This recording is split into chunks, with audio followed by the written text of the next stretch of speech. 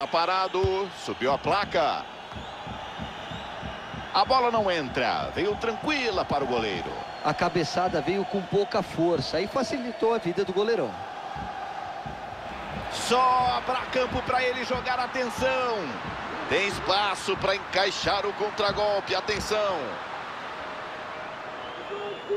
Faz o corte para dentro, tá arriscando. Sem perigo para o goleiro, estava bem posicionado no lance.